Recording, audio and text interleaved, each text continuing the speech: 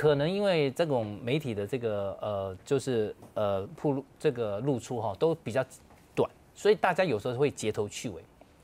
其实中间哈，其实我认为说柯文哲他在谈很多的政策哈，大家都有部分都用比较短的个部分去曲解了一些哈，比如说。呃，我们这样讲哈，就是说上次，比如说像这当时讲这个钓鱼台这边，其实不是在讲说不要那个主权，哦，他是比较科学、理性、务实的去谈，就是说这个渔权你到底要怎么做。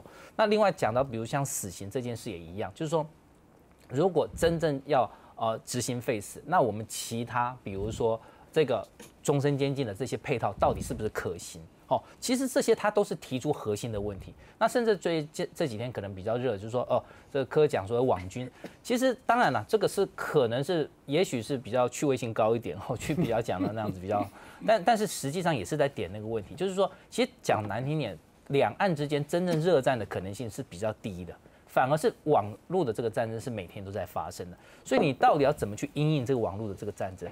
我我想是这样，就是说。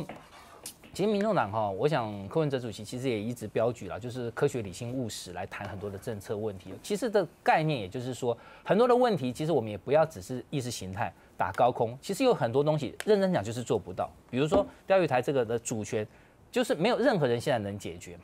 那你当然你现在只能先摆在那边，那你要保护好了，反而就是你，比如说像渔权这些。所以这整套的应该是这样讲。当然，我们对于民调这些，我们会。呃，我我觉得其实也是反映一件事啊，就是说民众当然他一定也是有他的感受，因为我觉得现在三组的候选人都出来了，他们到底说什么？那他们怎么样论述他们这个治国？我我觉得这些还是让民众让他们自己会做判断。今天高也是因为有这些民众在背后的支持。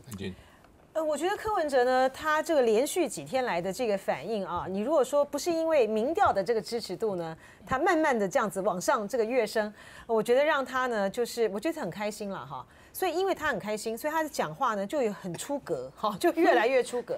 然后从他的这些的这个讲话呢，我们就可以看出来，这个柯文哲呢，他在他他的格局啊和这个能力上面，真的是不适合做一个总统的啊。刚才这个呃委员提到说。呃，钓鱼台的主权的问题真的不好解决。不，钓鱼台要解决的不是主权问题，主权是主张的问题，要解决的是渔权的问题。然后钓鱼台的这个渔权的问题有没有解决呢？解决啦，在马英九这个时代的时候就已经贴签了这个台日渔权协定。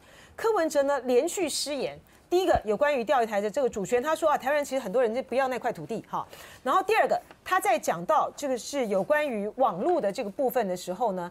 他竟然会说，我们需要养的呢是网军 哈，而且呢是要去瘫痪呃大陆的呃这些系统，还有他的这些什么 ATM 啊这个系统。